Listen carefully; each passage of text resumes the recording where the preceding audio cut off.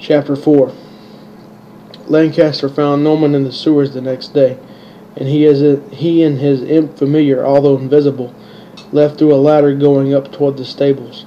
Once outside and up top, Norman informed Lancaster what has transpired. So the dragon was being controlled by a demon here, just as the same one attacked Highpost yet was staged here. These enslavers are witty if I didn't know better. Either that or they actually have a leader, which seems likely at this point. Is it this Finrose character? Lancaster inquired. Doubtful, said Norman. Some one-on-one time with this person may reveal his or her identity to us, however. Lancaster spoke in detail to Norman between two large baskets of straw in the early morning of dawn before how the about how the white wizards are no longer true immortals, how even they can kill now if need be, and how that can be an asset now, as things are getting worse. While Lancaster looks middle-aged, he assures Norman that he will age eventually, although extremely slow. The black mages of Ebony Tower still cling to their mysterious immortality, though, and loom over the world now as a threat that only Lancaster is truly aware of. Lancaster is no longer in the position of Archmage of the White Tower, but a mere feudal wizard, where his settlement was built around his tower. The story goes that in the desert people were parched for water and resources and weary of the ramp- rampant dust storms. They started to settle around the wizard with his permission, as he had used his magic to create a small forest oasis around his tower. Now the people of the desert enjoy Lancaster in his honor, a small town of nearly 100 settlers. The day was starting in the in the gleaming empire of Silverstone City, home of the illustrious Warriors Guild who have saved and protected this city since its inception. Battle-hardened soldiers and adventurers alike who cling to the old ways of honor and glory, although they do not pledge full loyalty to their King Hydas. They do his duties for him across the world abroad, and for others they do also for a fee. In the barrels of the city, in the lower alleys, a group of men appearing to be vagabonds, except for one in, is in communion. One looks like he is rich, with linen silk, and a gold, golden and round red ring with a serpent on it. All the shadows in the valley come to life with movement as a blob of red membraned eyes, small and round, and steam hiss forth from it, even in broad daylight. It is a bazaar, a very powerful demon. A bazaar are thousands of lesser demons who have merged into one spirit, more or less, yet retain their consciousness but combine all their power. It waits behind the finely dressed man as his servant. The men, the men in rags notice something moving in the ground beneath them and swallow, and eyes open with fear, and one puts his hand over the top of his head looking down. You were supposed to find out the whereabouts of Ethan the Black, so Jacoby, did you? Jacoby hesitated. Um, no, sir, I was accosted by a witch hunter. The man didn't flinch, running his middle finger through his long brown hair, clean and well kept. The plan to attack both cities succeeded as planned. Are you telling me the diversion was for nothing? He asked calmly. But he destroyed my needler demon like it was nothing. He spake loudly. Halt, said a guard as he passed by. The bazaar snapped back into the wall. He overheard the commotion. You lot look like you were up to no good. The mysterious leader then said to the guard, You have nothing to fear from us, soldier. I am merely giving food and gold to these beggars. The guard's eyes move away fast and back again, and he says, Very well. Just don't let me catch you in the alleys again.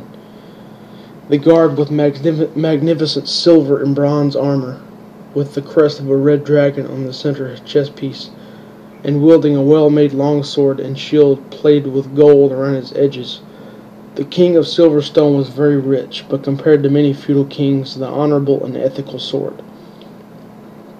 The group disbanded, and the mysterious well-dressed man headed toward the Temple of the Serpent, an order that realizes the dragons of the ethereal realm as gods.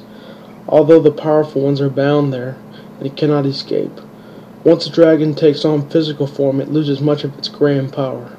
Few exist, exist outside of the land of dreams but the ones that do are generally passive by nature. Movac, the god of death, is in the visage of a dra- uh, uh, uh, is in the visage of a demonic dragon, though he is not one at all. Though some believe he may have been long ago. Norman and Lancaster are riding horseback toward Muric, the city of desolation and ruin, the dark safe haven for most of this world's villainy. The rising power there is the Order of Movac, priests of the god of death. They supply the Ebony Tower wizards with their infant sacrifices for the atrocious ritual of the unspeakable, to retain their fabled immortality by appeasing the god of death. Their method of choosing mothers isn't certain, but the outcome is the same. How are we going to pull this off, Lancaster? Norman asked, looking at his side as they ride horseback on a road in the woods outside of Muric. The road lined with old graveyards and tombs, the trees covered with dark moss. I have our credentials. It is up to us. We must play the part perfectly, replied Lancaster. As they get deeper into Muric territory, the sun darkens under a canopy of trees as they ride on. Cemeteries now turning into abandoned altars and fenced murals. Our goal is to either liberate Ethan or kill him if he if he has become one of the Ebony Tower's lackeys. I will not hesitate, Lancaster. Surely you know, said Norman in a serious tone. Lancaster then responds, I do not believe Ethan stole the piece, but I have no doubts he is now in the hands of the Ebony Tower. I believe he had no choice but to join forces with them or die. We will give him a chance first. The pair learned of Ethan's whereabouts from the captured enslaver. It seems they were behind his capture, revealing something that no one had known before, even though many suspected it. The enslavers are working with the Ebony Tower. As they ride steadily on, slowly at first, then the horses rear up and start galloping fast. They are spooked. A lone wolf, dark gray with black, about half as tall as the horse, runs up toward Norman's horse who is on the right. To its right, it chomps at the horse's feet. Lancaster raises his staff straight up, up above him, and a wave of force blasts from the staff's top, narrowly missing Norman's head, and knocks the wolf back into a, a tree hard, impaling it on a blunt, blunt, stumpy branch. They halt their horses and stop, and hop off and walk them to an empty patch in the thick forest. Let us make camp. It is almost it is getting dark soon, said Lancaster, breathing out hard one good time. The orange sun gleaming beams through the close together trees and carved out stone hills. Lancaster thinks to himself, The ebony tower awaits me as well, Ethan. Uh, squinting toward the sun and the trees. As the sun sets upon the horizon, the two approach the mirror checkpoint manned by two heavily armed guards, and a battle mage armed with only a shield. What is your business here? One of the guards says to Lancaster and Norman. The other guard says, Perhaps they are lost, hovering his hand close to his mace. Lancaster, still on horseback, says, We have our credentials. We are shadow priests returning from a secret mission into the dark wood. The guard snatches the paper angrily and reads it, handing it back to Lancaster. Very well, then. I suppose you can go on your way. Off, then. They rode on into the outskirts of the city, the pass covered in cement, and on the edges blazing furnaces lining their edges. Muric has no burial rites. They simply burn their dead into ashes in these huge braziers and give the remains to the ebony tower for use. As they slowly rode past, piles of clothed, fresh bodies were being slid into the flames. They were approached by a dark, hooded, and robed man with an injured and ghost white left eye. He humbly looked at the two as they were riding and asked, Good sirs, be ye priests of the shadow or of the fire? They looked at each other with a confirming gaze, and Norman gave a single nod, and Lancaster replied, Yes, we are priests of the shadow and have just returned.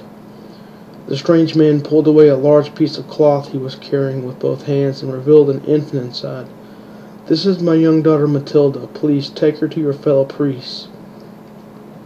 A small gift from the people to the shadow and fire for blessing these lands for so long. Lancaster still horseback but stopped, and Norman still moving ahead slowly. He looks at the man and says, I could not do this. We're not taking any donations at this time. Our reasons are our own. The dark robed man in a fit in a fit yelled, To hell with you then. She dies here now. He throws the clothed infant into one of the braziers and smiles a demented smile. Lancaster's eyes widen and he uses a teleport spell before the infant hits the bottom. The baby screams silenced. The man reared back and uttered, You are no priest. Forbid magics. You're a witch. And took off running toward the city. Lancaster drew his staff and teleported the man mid stride off to some unknown location.